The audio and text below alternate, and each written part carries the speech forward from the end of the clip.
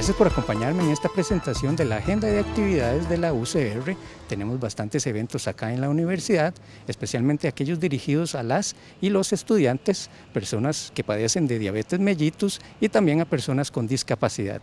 A partir de este lunes 9 de noviembre, las y los estudiantes de la UCR podrán elegir el trabajo comunal universitario, TCU, en el cual desean matricularse.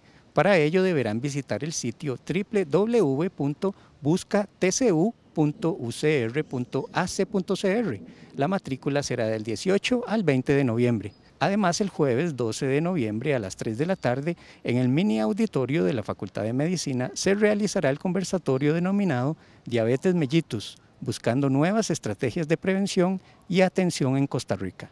Allí participarán como expositores el doctor Edwin Jiménez Sancho, presidente de la oficina de la Federación Internacional de Diabetes, y el doctor Manuel Jiménez Navarrete, presidente de la Asociación Costarricense de Endocrinología.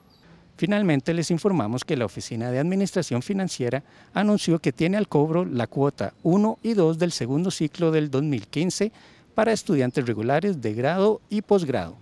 La fecha límite para el pago de la cuota 1 es este domingo 8 de noviembre y para la cuota 2 el próximo domingo 15 de noviembre.